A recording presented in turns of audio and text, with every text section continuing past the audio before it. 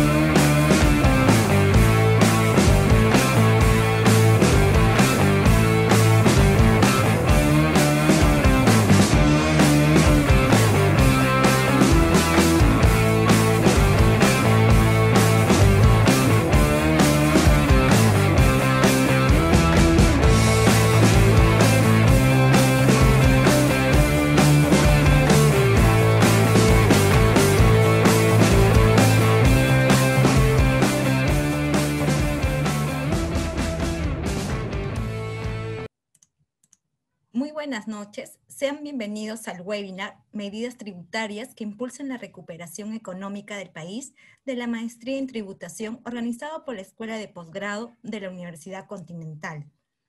Llevar nuestra maestría te convertirás en un profesional altamente especializado, capaz de encarar los retos que hoy plantea la tributación nacional e internacional, y te dotará de un conocimiento fundamental y vigente de estas normas. Los invitamos a participar del inicio de clases de nuestra maestría en tributación que será a partir de noviembre. Sabemos que tu aprendizaje es importante, por ello te invitamos a unirte a nuestro grupo de WhatsApp donde estaremos compartiendo artículos de interés relacionados a tu carrera, tips del docente expositor para que lo apliques en tu trabajo y descuentos exclusivos relacionados a la maestría. Al finalizar el evento les estaremos compartiendo el enlace para que seas parte de nuestro grupo de WhatsApp. Aprovecho para mencionar que el presente evento se está transmitiendo en vivo vía Zoom y a través de la cuenta de Facebook para contar con la exposición del doctor Daniel Yacolca por un lapso de 40 minutos y posteriormente daremos pase a la ronda de preguntas, las cuales podrán realizarse a través del chat. Ahora continuamos con el webinar Medidas tributarias que impulsan la recuperación económica del país a cargo del doctor Daniel Yacolca, quien tengo el gusto de presentar. Daniel Yacolca es docente de la Universidad Continental, doctor en Política Fiscal y Sistema Tributario por la Universidad Nacional Mayor de San Marcos y máster en Derecho Tributario por la Universidad de Barcelona socio fundador del estudio jurídico corporativo y tributario Daniel Yacolca, exfuncionario de la SUNAT por 26 años en áreas como fiscalización, cobranza y investigación académica. Sin más preámbulo, lo invitamos a realizar su exposición. Adelante, profesor.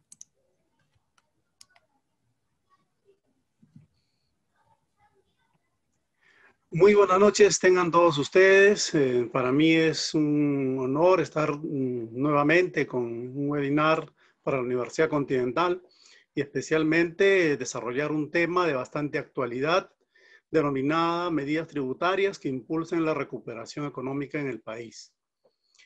lo importante de lo que vamos a hablar el día de hoy es reflexionar sobre qué medidas podemos utilizar para mm, mejorar la distribución del gasto público. Hoy en día sabemos perfectamente que nuestro país y como muchos países en el mundo han utilizado más allá de lo normal todos los ingresos públicos.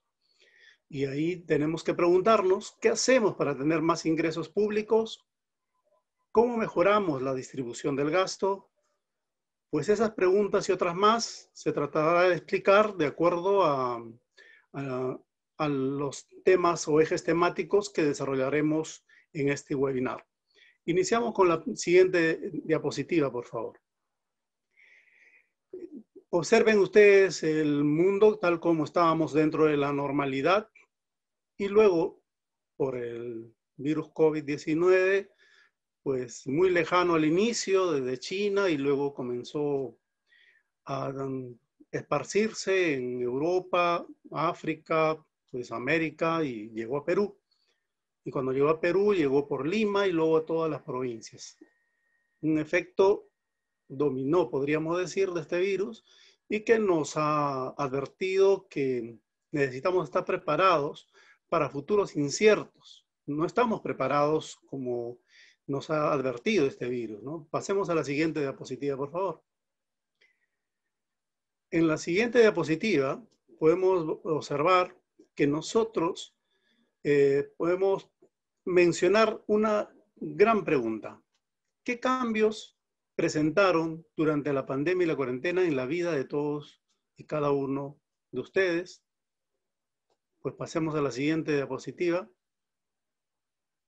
Observen aquí, todos hemos eh, compartido una cuarentena, muchos con nuestras familias, otros alejados, etcétera, un montón de realidad distinta nos paralizó a todos eh, en el lugar donde nos encontrábamos, algunos en tránsito internacional, otros a nivel de provincias y otros en el mismo Lima.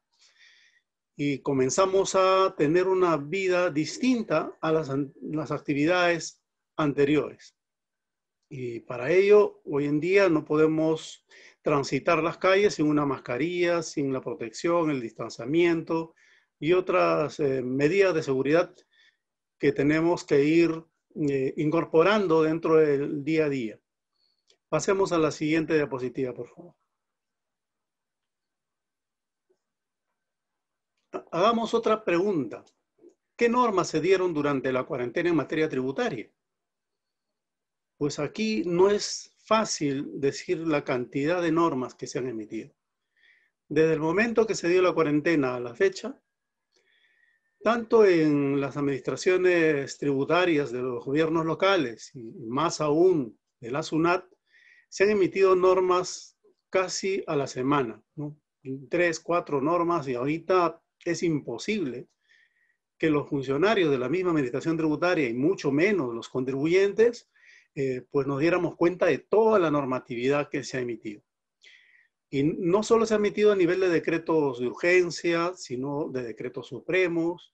Se han emitido también informes de SUNAT y de informes de administraciones tributarias locales, que eh, más que un esclarecimiento de las normas era casi una eh, forma de regular en plena pandemia. Y esto nos lleva a verificar una vez más que, dado que no estamos en una época de normalidad, tenemos muchas normas que mm, se han dado sin respetar el principio de legalidad, yendo más allá de lo que dice la ley, con informes, con algunas resoluciones eh, de ente administrativo infralegales. ¿no? Pero de esta materia se ha hablado bastante en las redes, no me voy a perfilar en esa misma metodología, voy a ingresar más bien a soluciones. ¿Qué soluciones debemos dar dado la problemática de, la extrema normativización que se ha dado hoy en día. Pasemos a la siguiente, por favor. ¿Cuáles son las propuestas? Creo que tenemos que ver y girar el timón hacia propuestas. ¿Qué debemos hacer para solventar los gastos públicos en tiempo del COVID-19? No, no en post-COVID, porque todavía estamos viviendo y necesitamos ingresos, sino en tiempos del COVID-19. ¿Qué hacemos? ¿Cuáles son esas propuestas? Pasemos a la siguiente, por favor. A corto plazo, indudablemente debemos mejorar la recaudación tributaria. Eh, muchos contribuyentes estarán eh, muy, muy eh, desmedidos económicamente, pues lógico, se han tenido que pagar planillas, han solventado muchos gastos, a pesar que la actividad económica no ha sido normal. Pero a pesar de ello, ya la administración tributaria está realizando masivamente em, eh, fiscalizaciones a nivel de una inducción masiva. Entonces ahí lo que nosotros nos preguntamos es, ¿cómo se debe hacer esa clase de acción de fiscalización. Debe ser una fiscalización agresiva.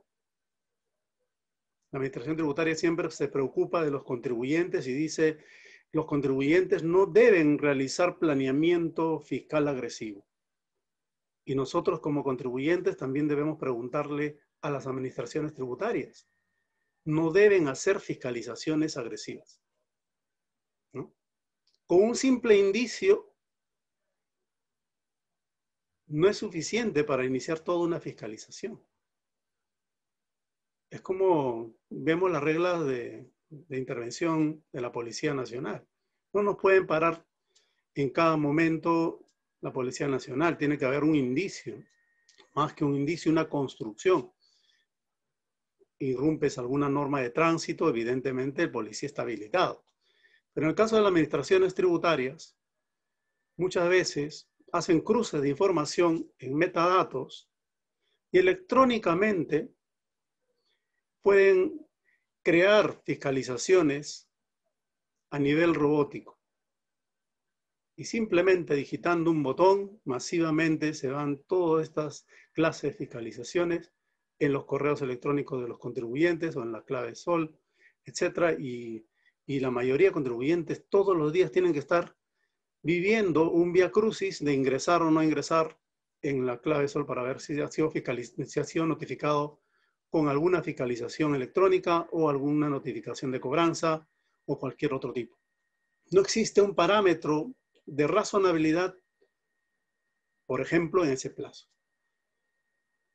Entonces nos preguntamos por qué los contribuyentes, al menos cada día que nos toca presentar la declaración, estemos obligados a revisar el correo electrónico, pero no todos los días.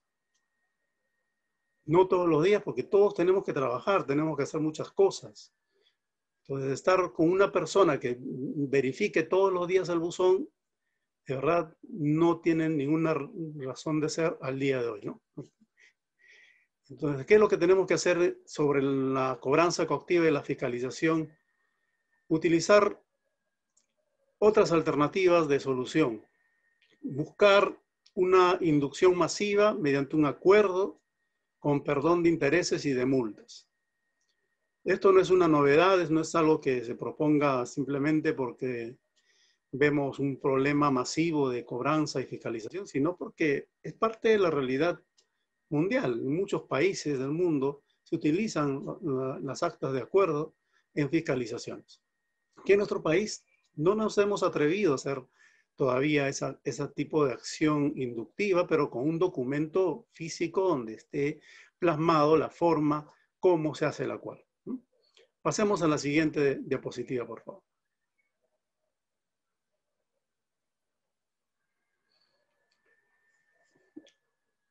Otra fórmula que se está utilizando en muchos países es lo que se conoce como la amnistía tributaria. Si bien es cierto, no estamos de acuerdo muchos de los tributaristas, no están de acuerdo con una amnistía tributaria en, en tiempos de normalidad, porque se genera un abuso, como hemos visto en las administraciones tributarias locales, en los municipios, todos los fines de año o, o, en campaña salen extrañamente amnistías tributarias en época de normalidad. Entonces esto en vez de incentivar el pago, desincentiva el pago y se busca la prescripción. La prescripción en los gobiernos locales es pan de cada día. Tanto es así que cuando uno, por ejemplo, aquí en, Lima, en el SAT, uno va a pagar su deuda a pesar que ha prescrito, te dicen que no, no puedes hacer el pago de la deuda a pesar que ya prescribió, porque como ya prescribió, tiene que hacer un formulario y solicitar la prescripción. No te permiten hacer el pago. Es un caso real, unos casos que he visto muy de cerca. Mientras que si nos vamos al lado de la SUNAT, es todo lo contrario. No hemos visto que hay un caso que ha llegado hasta el Tribunal Constitucional y lo que se busca es ampliar el plazo para determinar la deuda y luego cobrar.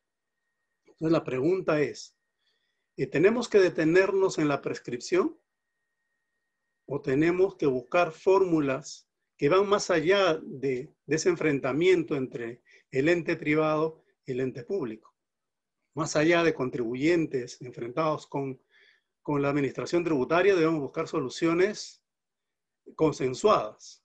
Y ahí es donde tenemos que eh, buscar la posibilidad de, de, hacer una amnistía tributaria donde se puede crear un incentivo de pronto pago como recaudación inmediata porque el Estado necesita ingresos, y hay muchos contribuyentes que podrían hacer un esfuerzo y hacer un pronto pago y evitarse las deudas que tienen pendiente con la administración. Y además para que califiquen los créditos que se dan a nivel financiero, que hoy en día está muy riguroso y la Superintendencia de Banca y Seguros ha puesto muchos candados en los préstamos, tanto personales como a nivel empresarial. Luego tenemos dentro de esta amnistía crear un fraccionamiento especial. Un fraccionamiento especial más acorde con esta realidad que estamos viviendo. No un fraccionamiento como ya se sacó en la administración tributaria, donde se parece más a un fraccionamiento ordinario, que ya hemos tenido siempre, y que no hay mayor, eh, mayores beneficios para que la población más amplia pueda incorporarse en este fraccionamiento. Tanto es así que hemos visto que se ha vuelto a prorrogar. Y la palabra prórroga es una palabra muy utilizada por la administración tributaria. Desde que inició la pandemia hasta el día de hoy, todo, absolutamente todas las normativas tienen una prórroga. Después otra prórroga más. Luego otra prórroga más y no sabemos hasta cuándo estarán las prórrogas. En vez de hacer una sola norma que aplique a toda la cuarentena o todo el estado de emergencia, se están sacando muchas normas que prácticamente si uno hace una línea de tiempo, ya no es una línea de tiempo de tres o cuatro, sino ya, ya se sale de los parámetros de la normalidad que deberíamos eh, buscar en la frecuencia de las de las leyes. Entonces tenemos que ingresar, por ejemplo, eh, mayores plazos a lo normal, no 30 meses, 72 meses está en lo normal, podemos ampliar un poco más. Eh, se puede perdonar intereses, ya anteriormente se hizo, eh, tenemos varios fraccionamientos especiales que se han dado en épocas de normalidad, como el CEAP, el, el RECIT y otros más, y con más razón ahora que las empresas eh, están necesitadas de este tipo de fraccionamientos y a su vez el mismo Estado porque va a recibir eh, al menos eh, un, un, flujo de ingresos que pueda ayudar a incorporar en el ingreso público y luego el sustento del gasto. Otra cosa interesante que podemos observar aquí es respecto a las deudas impugnadas. Acá me detengo un poco porque veamos lo siguiente. La administración tributaria tiene dos grandes enfoques, la cobranza y la fiscalización. Con esto busca recaudar más allá de lo que declara el contribuyente. El contribuyente presenta su declaración jurada, que debe tanto, pero la administración a través de la fiscalización verifica si está correcto o no. Y parece muy bien esa facultad que tiene la administración. Pero luego, cuando ya se determina a nivel de las fiscalizaciones, hay un gran problema. La mayoría de las fiscalizaciones por montos grandes y a grandes empresas son impugnadas frecuentemente.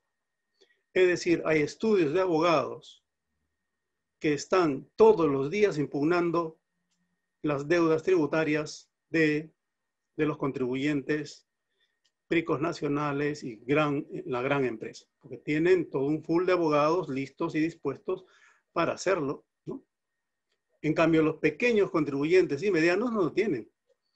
Entonces ellos eh, reciben una comunicación de cobranza coactiva en, el, en el buzón.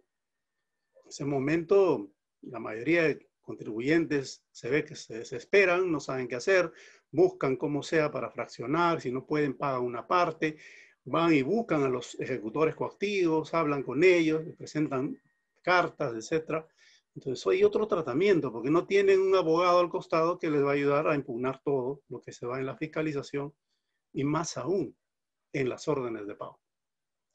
Y en este tiempo, donde todos estamos faltos de dinero, pues es importante repensar la fórmula que se debe utilizar para recaudar y, por supuesto, para también los contribuyentes pagar de acuerdo a su, a su realidad, a su nueva realidad. ¿Qué es lo que se puede poner en, una amnistía tributaria? El desistimiento de deudas impugnadas. Esto tampoco es una novedad, se ha utilizado mucho en fraccionamientos anteriores y hoy en día con más razón. Tenemos en el Poder Judicial, en la Corte Suprema y en el Tribunal Constitucional, grandes casos de deudas tributarias millonarias. Claro, muchos se alegraron de que la prescripción, por supuesto, ya es posible que la administración pueda determinar. Y la pregunta es la siguiente, ¿cuándo determinará? Ya pasaron más de 10 años. La administración tributaria, por un lado, tiene eh, una prescripción por cuatro años, de acuerdo al tribunal, para determinar y luego para cobrar cuatro años más. Y además tiene la interrupción y la suspensión. Es decir, en nuestro país ya prácticamente no existe prescripción de deuda tributaria a nivel del gobierno central. Al gobierno local, sí, al contrario, más bien los gobiernos local buscan la prescripción a pesar que uno quiere pagar. Esto es una contradicción en posiciones del propio Estado con dos administraciones tributarias, local y nacional. Y vayamos a la otra balanza. Lo que yo estoy comentando está en la ley, está en la decisión del tribunal. Vayamos a la otra balanza, donde está el contribuyente. El contribuyente para solicitar la devolución tiene cuatro años. Pasan los cuatro años, ya no puede solicitar la devolución. Entonces decimos, si ponemos en la balanza el tema de la prescripción, estamos, tanto el contribuyente como la administración, no sabemos qué hacer. Nadie va a recaudar. Los grandes contribuyentes lo impugnan todo. Los pequeños contribuyentes no pueden impugnar y si impugnan, pues a veces la mayoría de casos es fuera de plazo o porque son órdenes de pago que por más que impugnes ya empieza la cobranza costiva. Entonces hay una problemática, creo que todos concuerdan que existe una problemática muy seria que analizar y reflexionar. Más allá de las tendencias, más allá de una posición pro-fisco o pro-contribuyente, debemos ir a un pro-país. Esa, es la, esa es la perspectiva, un pro-país. ¿Qué hacemos como país? En vez de desunirnos en las redes sociales por, por apoyar un lado, por apoyar el otro, pues apoyemos al país. Busquemos algo que nos favorezca a todos. Y creo que hacer una amnistía tributaria con un carácter de imparcialidad y de posicionarnos al centro, podemos lograr más que seguir enfrentándonos en litigios que nunca acaban en el, Poder Judicial y que poco a poco van saliendo en el Tribunal Constitucional. Tenemos un problema de saturación de procesos y por más que quisiéramos, no va a poder resolverse todos esos casos en lo que viene del año. Pero si hacemos una amnistía tributaria como está planteando, podemos al menos eh, recortar esa brecha de tiempo en un porcentaje interesante que pueda ayudar al ingreso público. Pasemos a la siguiente, por favor.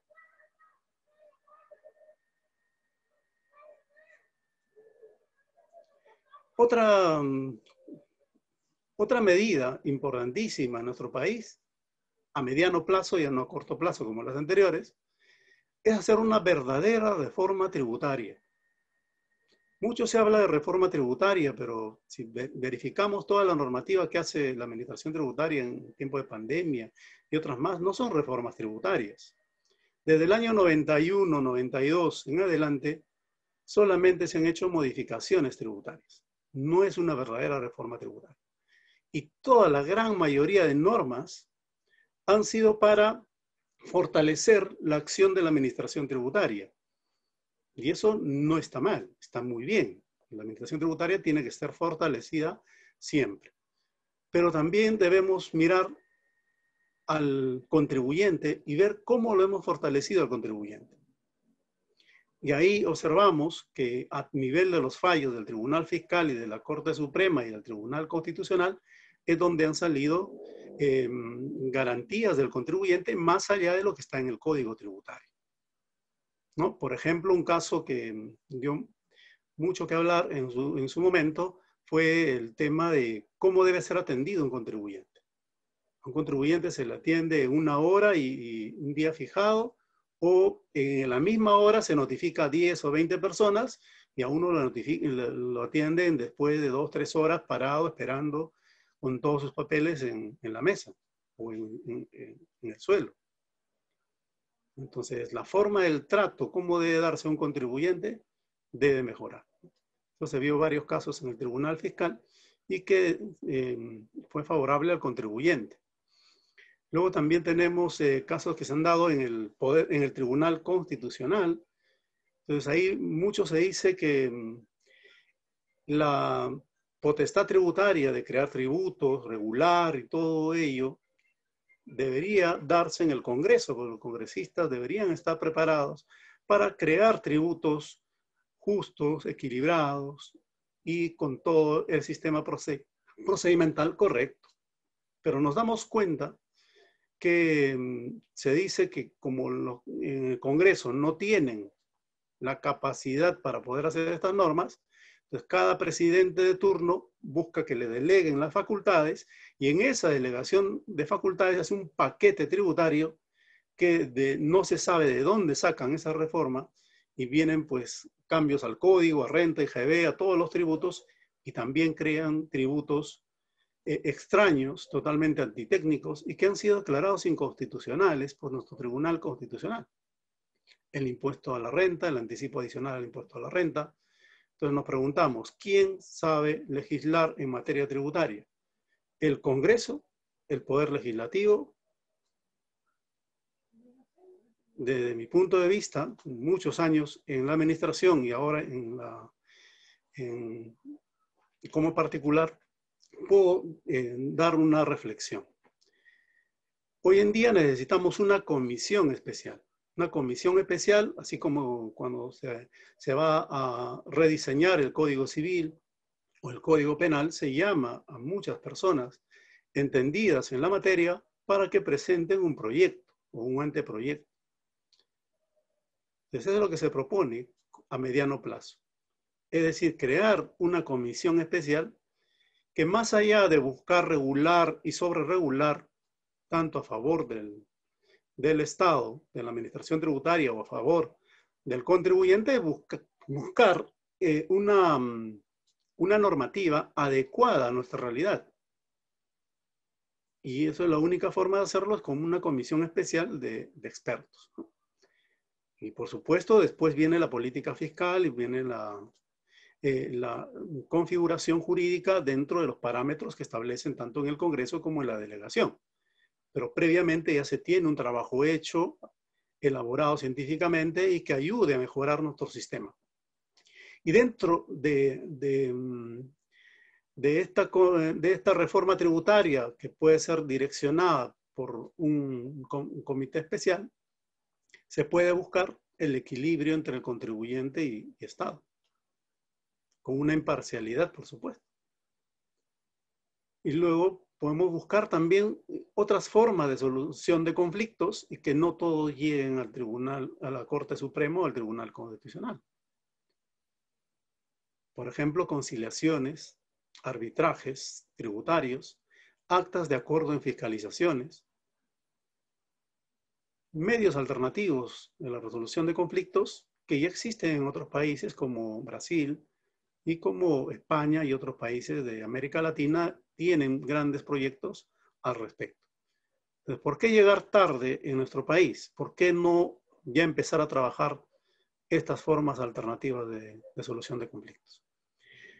Por supuesto, hay otra cosa importantísima que sí hasta el día de hoy no se comprende cuando la administración tributaria comenzó a analizar la informática, la electrónica y todos los metadatos dentro de su, de su posición fiscalista,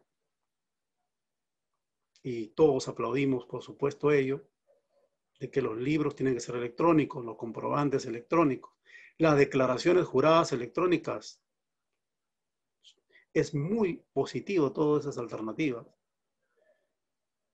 Y más aún, hoy en día que en, plena pandemia han creado un procedimiento especial de fiscalización electrónica y a nivel de inducción, muy importante, la pregunta es, ¿por qué no han creado un procedimiento también a favor del contribuyente? Si ya tienen toda la tecnología, tienen todas las fórmulas mágicas para hacer desprender toda la parte electrónica, ¿por qué no han creado un procedimiento electrónico para que el contribuyente cuando vea que el pago que ha hecho no es reconocido, no tiene que ir a la SUNAT a presentar una carta a control de la deuda que nunca contestan, a cobranza coactiva que se olvidan prácticamente porque hay una normativa que dice que los, las cartas y todo ello hay que encarpetarlas. ¿Por qué no se crea un procedimiento tan sencillo, electrónico, donde el contribuyente ingrese su pedido para que revisen su pago y direccione su pago?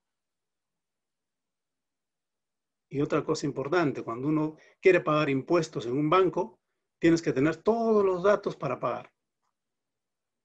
Ya la tecnología ha avanzado tanto que cuando uno va al banco debería dar su número de RUC y decir, el, quiero pagar mi fraccionamiento, ¿hay cuál? ¿Cuánto? La cuota, ¿cuánto es? Y pagar en ese momento. ¿Por qué tiene que hacer en plena etapa ya electrónica? seguir llenando un formato especial electrónico, luego pasarlo y después cuando ya pagaste con todo el sistema que tienen ahorita, ese pago se desaparece del sistema. Y el único salvador en, la SUNAT tendría que ser hoy en día la Defensoría del Contribuyente de la SUNAT. La Defensoría del Contribuyente del Ministerio de Economía hace solamente recomendaciones. Y me parece bien, interesante su trabajo pero más acertado y más preciso es la Defensoría Contribuyente de la SUNAT. Cuando toman medidas sobre esta clase de pagos, internamente se activa todo. ¿Y por qué esperar a ello? Entonces, una fórmula o una medida podría ser incorporar un procedimiento electrónico y ya en estos momentos para corregir errores materiales y evitar de esta manera eh, resultados tan terribles que después el contribuyente presenta fuera de plazo los reclamos, la apelación y, le embargan todos sus bienes a pesar de haber pagado. Luego tenemos eh, eh, la facultad de realizar acciones de inteligencia fiscal. Si observamos la mirada de la SUNAT y de las administraciones locales, todos ellos están focalizados en formales. Los formales son los que existen para la administración. Si te formalizas, al día siguiente ya te están fiscalizando, se hace una operación y todo, y me parece perfecto ello. Pero cuando eres informal, no hay absolutamente ni una acción. ¿no? se ve acciones como en los años 90, del año 92 hasta el año 2001, se veía acciones de fiscalización uh, informales en todos lados. Y la administración tributaria, casi un 80% del personal salía a las calles y, controlaba la informalidad. Hacía operativos en, el ámbito nacional. Increíblemente, el 2001 en adelante ha desaparecido. Entonces se ve como que si existe, no se nota, no, no hay noticias, no, no hay datas. Cuando uno pide información, transparencia la información, te dicen no, no existe esa información, no se puede dar. Entonces la pregunta es, las administraciones tributarias no deberían estar dotadas internamente de ya de estadísticas y todo lo necesario para comunicar todas sus acciones saber qué cosas están haciendo dentro de, de sus facultades y buscando a las grandes fortunas, no a través de crear un impuesto a las grandes fortunas, que eso no está sirviendo mucho, sino a las grandes fortunas que están dentro de la economía subterránea en nuestro país. Entonces, para ello, la administración tiene que tener todo un grupo de, auditores que realicen acciones de inteligencia fiscal. Entonces, eh, desde mi punto de vista, creo que la administración tributaria no llega a los, a los grandes evasores de impuestos de la informalidad porque sus acciones están limitadas a la documentación y a la fiscalización tradicional. Lo que falta es hacer esta acción de inteligencia agencia fiscal y detectar toda esta organización criminal que está detrás de, de la evasión tributaria nacional e internacional. Pasemos a la siguiente diapositiva, por favor.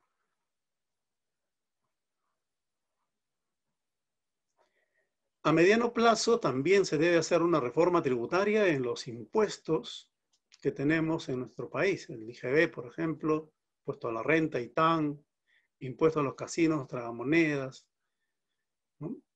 y toda la serie de impuestos, incluso locales, de impuesto predial, impuesto predial ya se tienen em, los mapas geoferenciados para verificar quién construyó más de un piso, qué, calidad de construcción tiene, y los espacios públicos que están siendo invadidos, por supuesto, pueden ser verificados a nivel de mapas geoferenciados.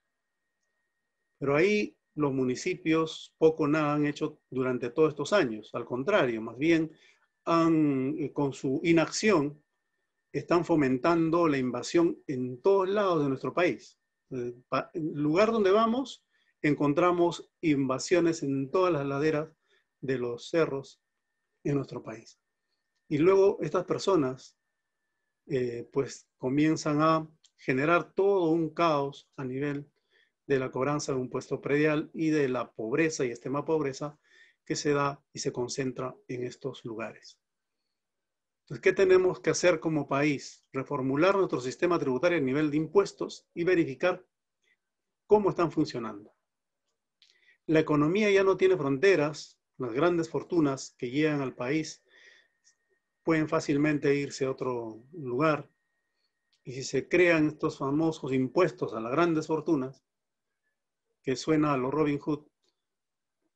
Claro, por supuesto. Hoy en día, ¿quién no va a estar de acuerdo con que las personas que tienen más ingresos paguen más? Pero hay que hacerlo dentro de los cánones de la Constitución y las normas. Y por supuesto, del análisis económico de los tributos, que no es poca cosa. Pasemos a la siguiente. Ah, no, bueno, terminamos con el siguiente punto. ¿Por qué decimos este, em, esta clase de de análisis económico que debe estar impregnado dentro de la reflexión de los cambios en los impuestos. Porque normalmente los problemas se dan a nivel de atomización de empresas y deslocalización fiscal. La atomización significa que una empresa se puede dividir en dos o tres para pagar menos impuestos. O también conocido en el ámbito político y de lavado de activos como el denominado pitufeo. Es decir, una gran empresa, una organización inmensa se divide en varias para no ser visto, para no ser tocado. Y esto se genera mucho en, las economías informales. Y la deslocalización fiscal es a nivel ya internacional. Eh, eh, la mayoría de planeamientos fiscales están eh, mirando constantemente la fórmula mágica de sacar una ecuación para colocar todas sus riquezas en países con bajo o nula imposición. Entonces, si en, un país se elevan los tributos, más de un 20 o 30% de las grandes fortunas se van a otros países donde van a ganar más. O sea, no es fácil regular los impuestos y si no se hace un análisis económico al respecto. No se utilizan las teorías, por ejemplo, de la curva de Laffer, o las externalidades positivas o negativas que se dan en el ámbito internacional. Y de la competencia desleal, por supuesto, que implica la informalidad en todo su esplendor en nuestro país, de 60-70% informalidad, con paraísos fiscales a nivel mundial y una evasión por capitales en empresas offshore o de fachada. Pasemos a la siguiente, por favor.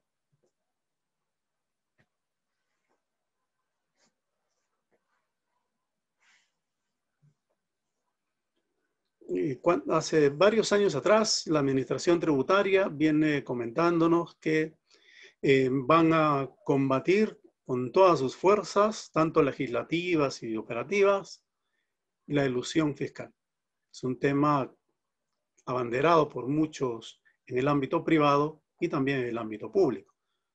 Todos mencionan a la ilusión como el tema del día y también, por supuesto, las acciones BEPS que están plagados a nivel mundial como recomendaciones de la OCDE en países como el nuestro para poder incorporarlo dentro de nuestra normativa. Hasta ahí creo no hay nada extraño en lo que menciono.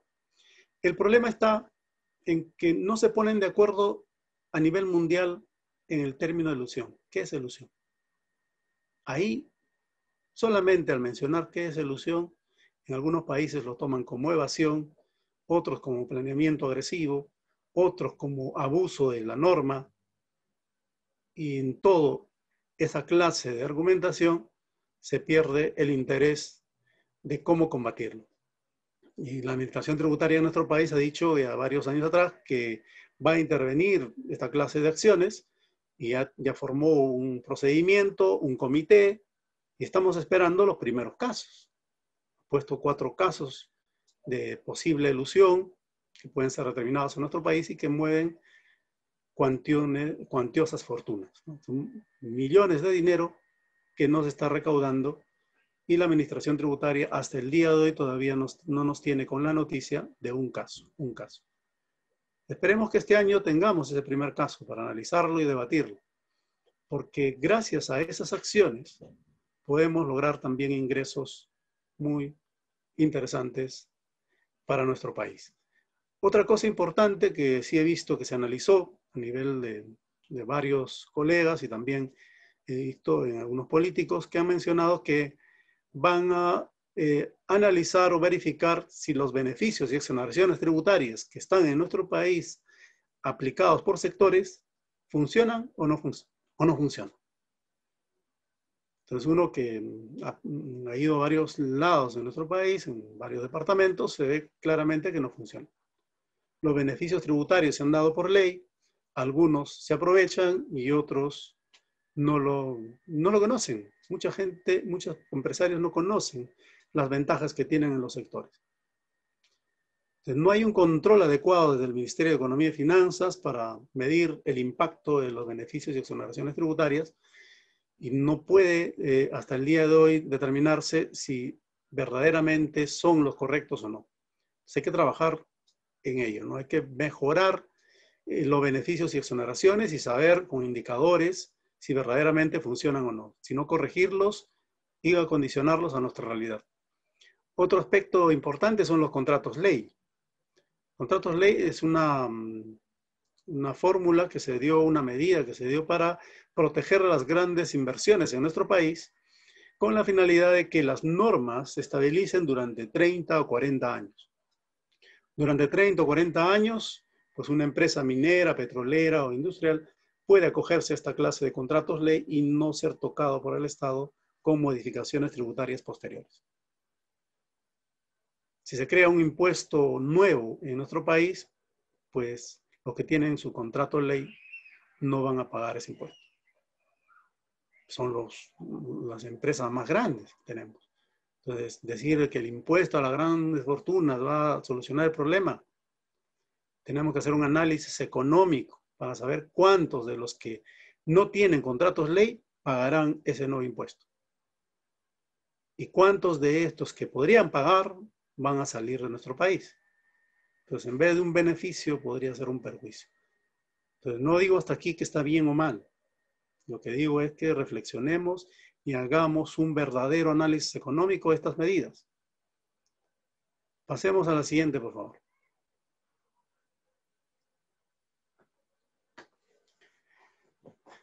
En todo el mundo eh, tienen un gran problema con la economía digital porque no se sabe cómo fiscalizar, no se sabe en qué lugar se producen las ganancias, cómo, cómo se distribuyen. Y para ello se han creado los famosos, un plan de acciones BEPS en el año 2013 como una medida de control adecuado de esta fluctuación de dinero en el mundo.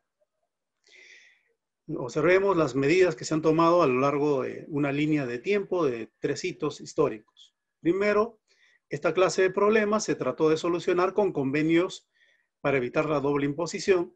No funcionó. Al inicio parecía interesante. Muchos de los países europeos tienen 50, 60 convenios cada uno, hasta más de 100 algunos. Y bueno, en nuestro país no llegamos ni a 10. ¿no? Y muchos dicen, ¿por qué tenemos menos de 10? Nadie responde el por qué. Esa medida no ha funcionado en nuestro país y hasta el día de hoy es incipiente. ¿Y, cuándo se dio esta clase de modelos del convenio? En 1963. ¿Cuántos años han pasado y hasta ahorita no mejoramos el sistema de convenios? Luego, a nivel de precio de transferencia, también se dio desde 1979, se habla de precio de transferencia, Pero extrañamente en nuestro país siempre son, después de 20, 30 años, recién aplicamos estas medidas. Y hasta el día de hoy no se ve un gran impacto de las fiscalizaciones de precio de transferencia. Desde su inicio en nuestro país se ha ido prorrogando, prorrogando y prorrogando, y la palabra prórroga es muy conocida por la administración tributaria. Y hasta el día de hoy no se sabe cómo funcionan los precios de transferencia en nuestro país. Los casos no, no, no se dan a conocer, no se sabe cómo se está fiscalizando y cuál es el beneficio de haber incorporado los precios de transferencia en nuestro país. Pasamos al plan de acciones BEPS. Igual. Hasta el día de hoy no se sabe. No tenemos conocimiento qué hizo la administración. Entonces decimos, falta de comunicación de la administración tributaria hacia los contribuyentes. Me parece que sí. Necesitamos conocer qué está haciendo la administración tributaria con estos grandes brazos que se han dado en el ámbito internacional. Nos dicen hace dos años atrás que ya tienen un convenio con la con la OCDE para poder incorporar mm, un tráfico inmenso de información con más de, si no me equivoco, más de 100 países. Entonces la pregunta es, ¿tienen ese convenio? Pues uno de mis alumnos hizo la consulta y le dijeron que no había convenio. Entonces, ¿hay o no hay convenio? Hay muchos alumnos que están haciendo investigaciones académicas, piden información a la administración y le dicen algo con, contradiciendo lo que a veces sale algún funcionario de la administración mencionando que, que se va a hacer o una noticia por ahí de algún experto que menciona que ya tenemos prácticamente información privilegiada para llegar a hacer todo una acción interesante en el ámbito internacional. Si la pregunta es, hasta el día de hoy, en la página web de la SUNAT no tenemos información. ¿Cómo funcionan los convenios? ¿Cómo funcionan los precios? de transferencia, cómo funciona el plan de acciones de. No hay información. Pasemos a la siguiente, por favor.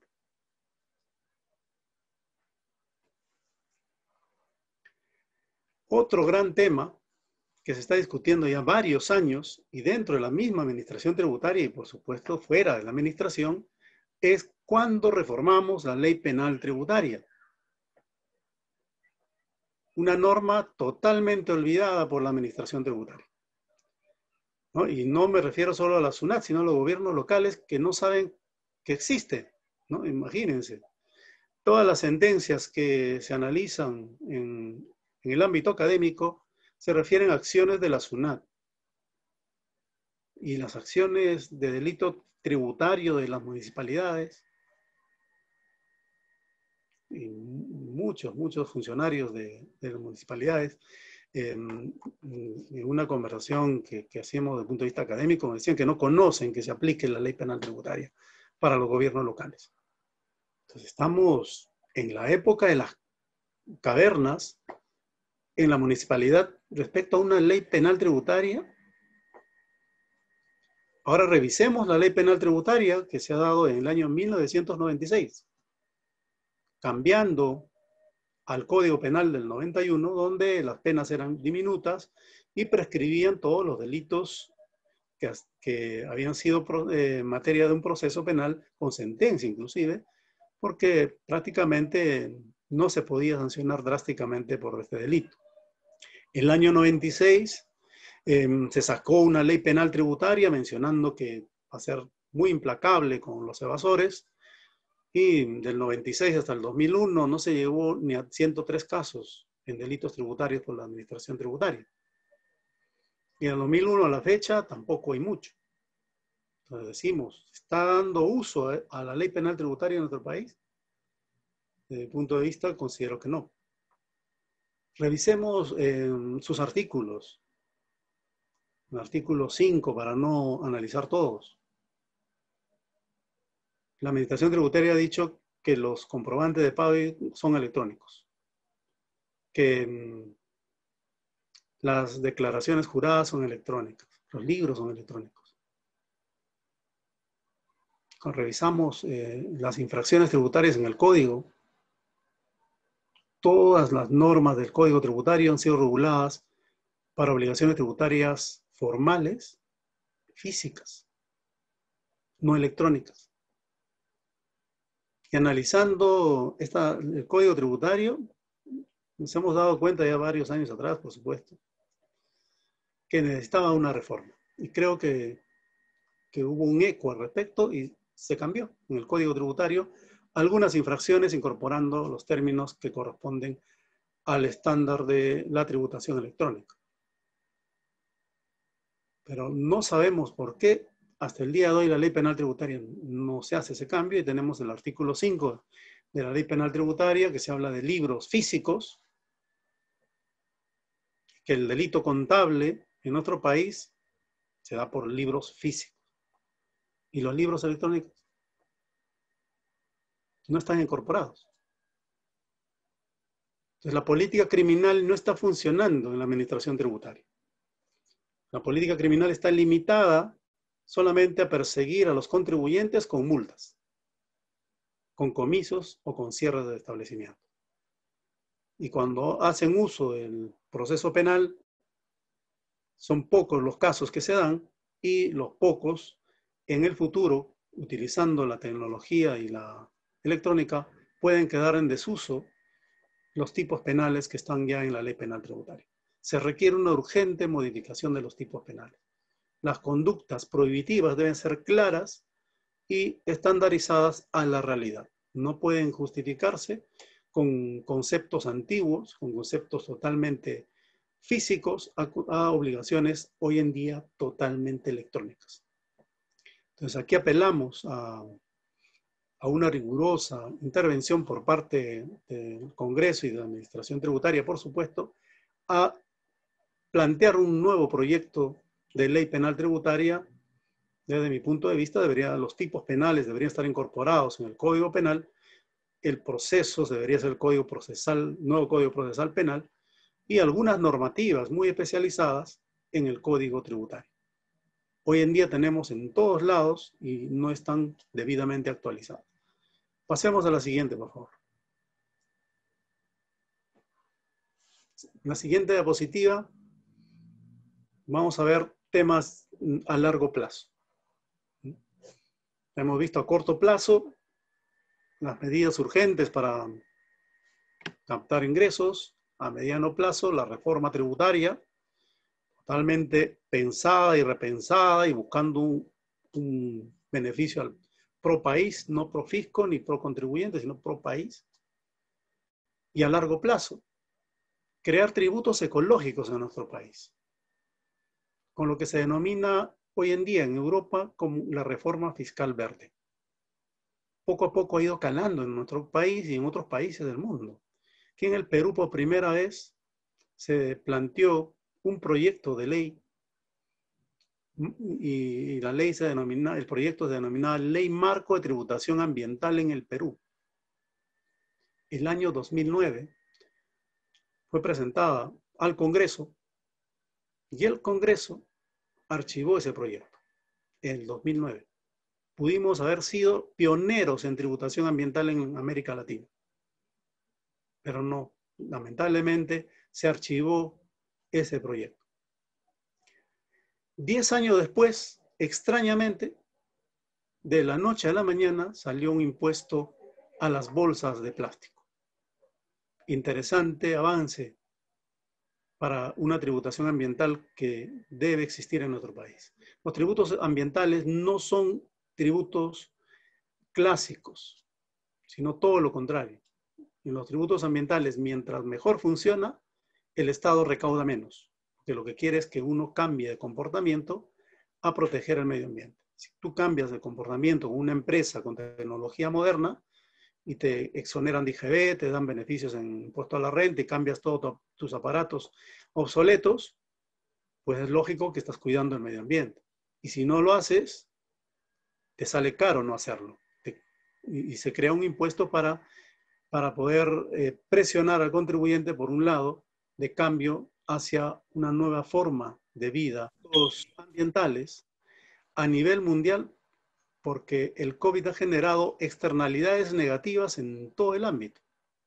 Y su impacto, y reducir el impacto del COVID, va a ser todavía más fuerte cuando empecemos a vivir los primeros efectos del calentamiento global. En otras palabras, el COVID es la alerta. El calentamiento global puede ser la extinción de la vida humana. No lo, digo yo, muchos especialistas, muy, muy reputados a nivel mundial. El calentamiento global es muy peligroso para la existencia humana. Si en el COVID hemos tenido que aprender a convivir en cuarentena y con muchas medidas de seguridad, pues cuando se da el calentamiento global va a ser mil veces más. ¿Qué tenemos que hacer como ciudadanos de este planeta? Utilizar las herramientas económicas para los efectos económicos. Y eso es tributación ambiental. El ecocontaminador contamina porque produce productos altamente tóxicos o genera combustión CO2 a nivel mundial. La idea es que baje su demanda con impuestos ecológicos y con beneficios cambia de giro para bienes más bien ecoeficientes. Eso es la nueva realidad que se viene en nuestro país y en el mundo. Dan beneficios tremendos al impacto, muy parecido a las medidas que ahora estamos viviendo a pesar del COVID, nos ha enseñado a vivir mejor alimentarnos mejor, a cuantificar bien nuestra economía y la importancia de cuidarnos uno, uno mismo y la familia. Otro, otro cambio importante a largo plazo es sobre el impuesto a las personas físicas, las personas naturales. No es posible que hoy en día una persona natural tiene parámetros totalmente objetivos de gastos para poder tributar. Entonces, cuando hace una declaración jurada, si bien es cierto, es sencilla para la administración y cobrar, por supuesto, pero para el otro lado, el contribuyente tiene gastos que no son reconocidos. Y más aún, en un mundo globalizado, el impuesto a las personas físicas debe también incorporar el principio de causalidad en el gasto. Pasemos a la siguiente, por favor.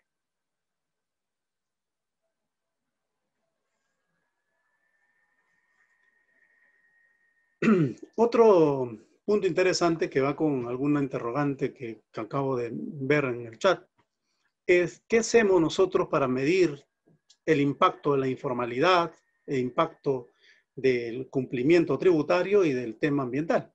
Pues tenemos que crear barómetros fiscales. Eh, uno debe ingresar a la página web de la SUNAT, aplastar un botón donde diga barómetro fiscal y ver todo el mapa del Perú donde hay más informalidad, más evasión, cuáles son los comercios que frecuentemente no entregan comprobante de pago, cuáles son los focos de atención de la misma ciudadanía para poder saber. Ahorita la pregunta justo dice lo que también todo el mundo se pregunta. Sabemos que la informalidad está ahí. A tres cuadras de la administración tributaria tenemos informales a nivel electrónico, gran cantidad en la avenida Wilson. 10 cuadras en la avenida Bancay, el mercado central, aparatos electrónicos. Cuando paralizaron dijeron que movían millones y que lo estaban perjudicando. Entonces la pregunta es, esos millones que dijeron y está totalmente documentado, ¿se verifica que está dentro del, del ámbito? pues ahí viene el problema. del ámbito de las declaraciones juradas de todas estas personas. Entonces es importantísimo tener estos barómetros, tanto fiscal como ambiental. Y una línea base para medir los efectos positivos y negativos de las acciones que haga la administración tributaria, tanto del gobierno nacional, del gobierno regional y del gobierno local, de todos los ámbitos al respecto. Pasemos a la siguiente, por favor. La siguiente diapositiva eh, nos muestra un panorama una fotografía impecable de una modernidad que prácticamente en el mundo se busca, se busca tener esta modernidad, o sea, dejar los árboles, dejar los bosques, los lagos y convertirnos en urbe. Representa la modernidad tener edificios y bosques, a veces hasta antenas disfrazadas de árbol, o tenemos que repensar nuestra existencia como seres humanos. Con esto doy por terminado mi exposición y pasemos a la siguiente diapositiva, por favor. Eh, muchas gracias a todos. Mm, pero antes de, concluir, quiero comentarles la importancia de la maestría de tributación de la universidad. La Universidad Continental está haciendo un gran esfuerzo por tener los mejores profesores de derecho tributario y, por supuesto, el mejor programa en, derecho, en tributación donde los invito a participar. Eh, ¿Qué ventajas tiene esta maestría? Pues una vez terminando la maestría, ya van a tener varios certificados y diplomas que avalen eh, su récord académico como especialistas en tributación. Y pasemos a la siguiente, por favor. La siguiente diapositiva para ver el plan de estudios. Observen, los temas son muy interesantes de tributación eh, internacional, de asesorías. Pasemos a la siguiente, por favor. la parte cumplimiento, precio de transferencia, auditoría tributaria, derecho penal tributario, las NID, los litigios tributarios que deben mejorar de acuerdo a los parámetros ya mencionados y habilidades gerenciales que implica un aprendizaje más allá del conocimiento hacia la acción y hacia una mejora como futuros asesores tributarios, tanto en el ámbito privado como público. En ambos ámbitos se pueden desenvolver de la mejor manera. Pasemos a la siguiente. Y el último punto de la maestría de cual eh, quiero eh, mencionarles es la importancia del plan de estudios, además de sus cinco ejes temáticos, tenemos un seminario de tesis importantísimo. Es decir, del primer ciclo hasta el cuarto ciclo van a ir desarrollando sus tesis. Y cuando terminan el cuarto ciclo, van a estar prestos a sustentarla. En otras palabras, van a terminar su maestría especializados con certificaciones múltiples y además van a salir con el grado de maestro en tributación. Muy bien, muchas gracias a, la universidad y a todos ustedes que tengo el gusto de conocer, a muchos que han hecho algunos comentarios. Saludos a todos, ahí está la plana docente, a la cual pertenezco. Estaré eh, muy, muy deseoso de poderlos recibir en las clases eh, que estamos teniendo hoy en día. gracias a todos. Muchas gracias a usted, estimado profesor, por sus valiosos alcances. Estimados participantes, estamos colocando en el chat para mayor información acerca de nuestra maestría en tributación y asimismo también si deseas contactarte con una de nuestras asesoras ejecutivas al número 987-183-737. A continuación, ahora pasamos a la rueda de preguntas. Y la primera consulta es, profesor, si los pequeños empresarios no tienen abogados, ¿qué podría hacer estos contribuyentes? Mm, eh, sí, una excelente pregunta. Uno, eh, también es la misma pregunta que me hice varios años atrás en mi trabajo como funcionario de la SUNAT. Eh, siempre uno aprecia en los juicios grandes empresas, esto mm, hay que tomarlo de la mejor manera, por supuesto, las grandes empresas protegen sus grandes inversiones y la forma de hacerlo es contratando a los estudios de abogados y también estudios contables, por supuesto, con gran impacto en, la defensa en la defensa privada.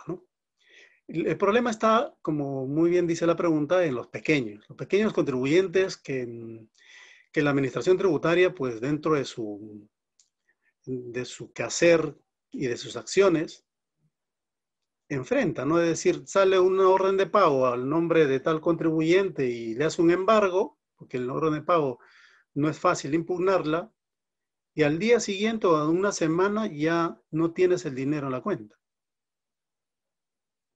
Entonces tenemos un problema gravísimo ahí, ¿no? ¿Y qué hace el contribuyente? Pues el contribuyente que se asesora, ni bien presenta su declaración jurada antes que elegir a la orden de pago, tiene que solicitar un fraccionamiento. Y ahí se dio una idea, muchas veces dentro de la misma administración y fuera, por supuesto, todas las ideas son positivas, y dijeron, ¿por qué en la misma declaración jurada no se coloca la posibilidad de fraccionar en automático?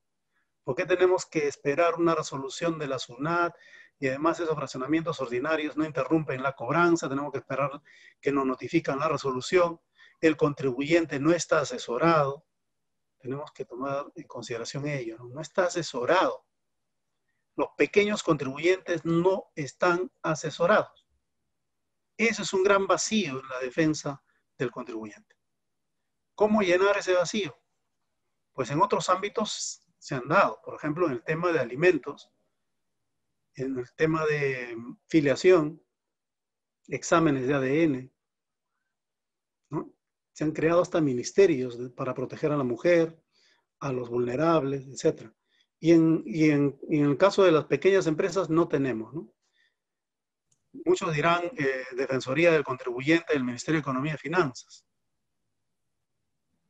Sí, es cierto, pueden ayudarnos pero no tienen todavía las competencias que pueden implicar un asesoramiento a todos los contribuyentes pequeños.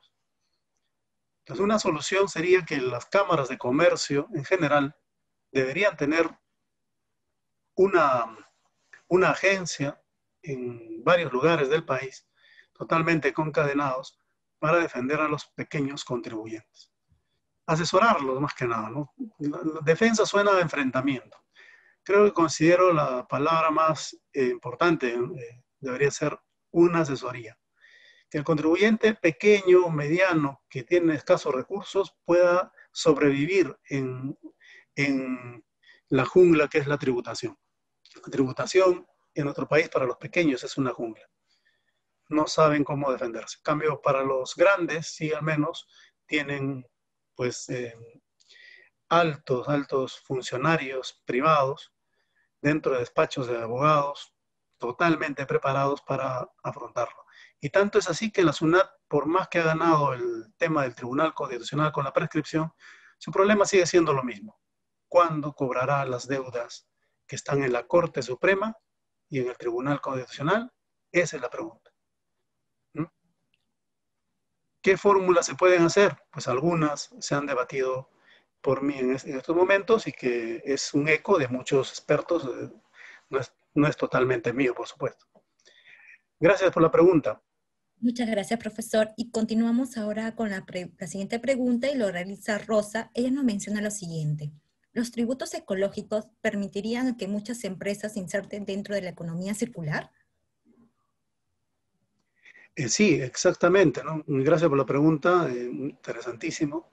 Eh, los tributos ecológicos son como un control de calidad empresarial. Es decir, las empresas no podemos ser desordenados, así como las personas no pueden andar en la calle ahora sin mascarilla, ¿no? Es decir, las empresas también tienen que tener su responsabilidad social, empresarial y ambiental. Entonces, ¿esto qué significa? Que si tienen un aparato, una chimenea que está contaminando todos los días, está contaminando a sus propios trabajadores y también a su localidad, que cada vez que uno pasa por localidades altamente contaminadas, en vez de dar una buena imagen, da una pésima imagen del lugar, entonces decimos, ¿hasta cuándo debemos tener empresarios que contaminan? ¿Necesitamos llevarlos a la cárcel por delito ambiental? ¿O necesitamos utilizar la economía circular que sirve justo para internalizar las externalidades negativas y positivas a favor del propio, con unas medidas adecuadas al respecto? Gracias por la pregunta, muy interesante. Muchas gracias, profesor. Y la siguiente, siguiente pregunta es la, la, siguiente. ¿Usted cree, profesor, que se debería eliminar la tasa de interés en las deudas tributarias que son administradas por la SUNAT, en este caso el gobierno central, como una nueva forma de incentivo de pago para el contribuyente en estos tiempos de COVID y crisis económica? Eh, sí, justo una de las medidas que menciono es eh, que se extingan los intereses. Que se extingan los intereses, para, pero dentro de una amnistía.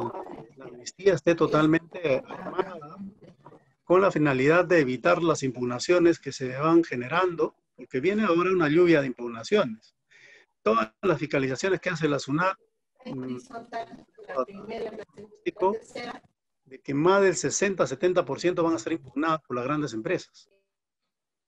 Entonces vamos a tener un nuevo paquete de empresarios que van a llevar toda la, tributación a los fueros judiciales y el Tribunal Constitucional. ¿Qué tenemos que hacer para, para buscar un punto medio? Pues repensar las fórmulas que se están dando el día de hoy. No ir a fiscalizaciones o cobranzas coactivas agresivas, no tampoco condicionar a planeamientos, más bien enfrentar a planeamientos agresivos y buscar más bien planeamientos que se ajusten a una mutua relación entre administración tributaria y contribuyente, con fines de superar el, el bache económico que nos está dejando el COVID. Posteriormente ya se podrá hacer las reformas correspondientes como deberían ser, pero al día de hoy debemos tomar medidas con la misma potencia de los efectos que se están generando. Muchísimas gracias, profesor. Y la siguiente pregunta lo realiza Ramos y él nos menciona lo siguiente. Desde su punto de vista, ¿cómo se debe de afrontar la informalidad toda vez que representa, representa el 68% y que las verificaciones y fiscalizaciones solo se dan a las empresas formales? Eh, sí, bueno, eh, no es, no es em, solamente en Perú, en muchos países que he visitado y he dado varias conferencias con algunos colegas, hemos coincidido en lo siguiente, que sí, si vamos a administración tributaria, la administración tributaria va a buscar a los contribuyentes que le paguen más. Eso es lógico, es como cuando uno busca un trabajo igual, tiene que buscar donde te van a pagar más. Y la administración tributaria hace eso, y es parte de su política y, me parece muy bien, porque clasifica a los contribuyentes entre mega contribuyentes, prico nacionales, prico regionales y medianos contribuyentes y resto, pequeñas empresas. Hace una especie de pirámide y, y extrañamente de más de 2.000 empresas recauda el 70% y eso es lo que nos sirve a nosotros para subsistir la pandemia y todos estos años la mayoría de presidentes han tenido una caja fuerte porque la SUNAT ha hecho un buen trabajo del 90 a la fecha. Nos ha dado una buena recaudación y nos ha dado unos buenos em, índices económicos a nivel mundial. Hasta ahí, todo gracias, a pesar que tenemos un montón de presidentes con problemas, eh, expresidentes, eh, la SUNAT ha, ayudado para el ingreso público em, se ha sostenido en el tiempo. lo que tenemos que observar es que esa mirada es una costumbre una costumbre que se ha dado en los 90, en los años 2000. Pero no debemos seguir con esa costumbre parcelada en un grupo de contribuyentes que nos dan la recaudación. Sino tenemos que mirar las economías sumergidas que en el Perú mueven millones y millones de dinero. Estudios como realizados por el Banco Mundial, muchos estudios por la misma OCDE, y algunos libros como el libro del Misterio Capital de Hernando de Soto, o el otro sendero u otros libros especialistas en la materia, eh, nos han dado el diagnóstico, tenemos el diagnóstico. Hay economía sumergida en el Perú y en el mundo. Y la fórmula de combatir es justo haciendo inteligencia fiscal. Es decir, utilizando las, las mismas herramientas que se utilizan para descubrir la mega corrupción, se debe utilizar también para descubrir la mega evasión tributaria de esos focos inmensos de economía sumergida en nuestro país. En otras palabras, fortalecer la administración tributaria e inteligencia fiscal. Muchísimas gracias, profesor. Y para terminar, las últimas preguntas son las siguientes. ¿Cuáles son las medidas tributarias que se deben tomar para la recuperación económica del país? ¿Y hay forma de disminuir los tributos?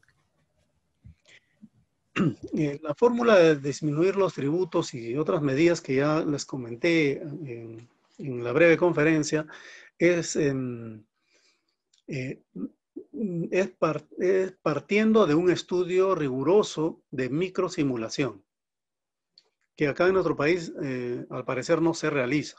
Hace varios años atrás estuvimos en Uruguay varios colegas de distintos países analizando eh, una herramienta muy, muy valiosa que es la microsimulación. ¿Qué es la microsimulación? Es una medida matemática de la información que se tiene en el INEI y en otros entes estatales y privados para saber em, cómo se pueden mover las alícuotas de los impuestos. Entonces ahí eh, hicimos un diseño de una maqueta en, Uruguay y revisamos eh, muchas realidades de, muchos países, cómo se están utilizando la microsimulación en, con el Euromod Euro, de Europa, en España y en otros países de Francia, etc.